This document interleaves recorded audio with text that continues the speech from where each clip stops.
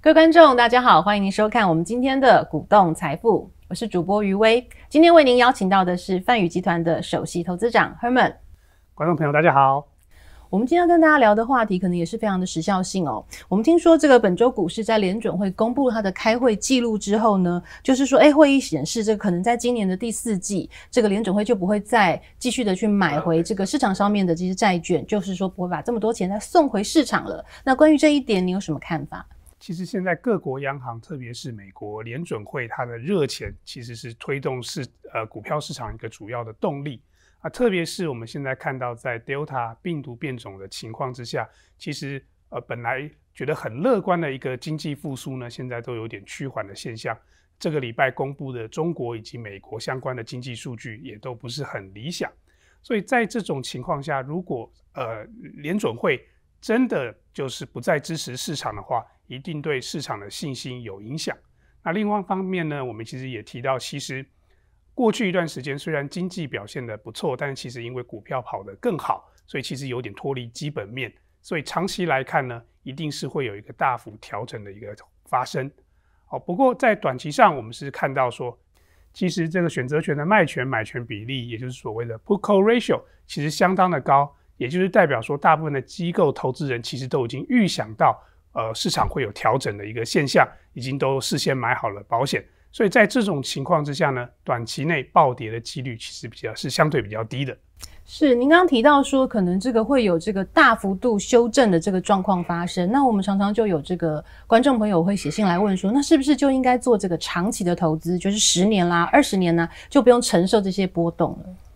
对，其实长期投资是我们在节目中一直推广的一个想法，也是一个正确的观念。好，但是还是有一些细节要注意。比如说，长期投资单一的股票是不是就很安全呢？那第一个，你可能公司就会面临有破产的风险，破产倒闭，你可能会血本无归。那另外一个是，当年可能看起来很好的公司，可是长期跑下来，也许不尽理想。像我们举个例子，GE 啊，奇异电器或者通用电器，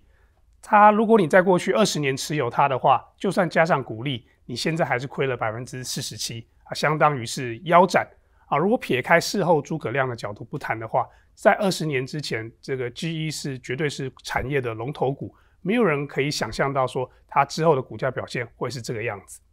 那你刚刚提到说，既然投资这个单一的公司的股票风险很高，那是不是可以投资单一国家？那它的整体这个股票的指数会不会就好一点？当然就会有有改善。那特别是归零的几率就大幅降低了。那历史上整个股票指数归零呢，只有发生过两次。好，一次是一九一七年的俄国圣彼得堡交易所，那另外一次是发生在一九四九年的中国上海。另外一方面呢，长期投资当然能够回本的几率变高，但是还是会有意外的状况。比如说，你如果是持有日本的日经指数的话，已经过去三十年了，可是现在呢，其实日经指数还是没有回到当时泡沫经济时候的高点。那另外一个就是我们刚才的讨论，其实都很乐观的假定，其其实我们投资人都是很理性的，是不会受到情绪影响的。可是实际上，就算是目前历史上唯一被少数被证明可以持续再创新高的美国股市，它在二零零七到二零零九年之间，标普五百下还是下跌了百分之五十五，这其实超过了大部分人能够承受的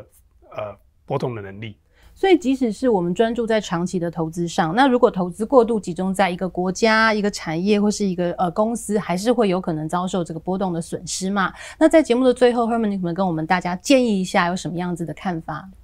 就我们一直说，美国是呃全世界呃最发达的金融市场，那有各式各样的金融商品啊，其中一个大家可能都听过很多次的，就是 ETF，它可以利用，大家是可以利用这个 ETF 呢，用很低的成本。然后投资不同的金融资产或者不同的市场，来充分的分散风险，而且呢，长期持有一个完整分散的投资组合。嗯，今天非常谢谢我们的首席投资长 Herman 来为我们更新本周的股市的动态。希望你要继续的订阅、点赞，并且开启小铃铛，支持我们的股东财富。我们下一次见，拜拜。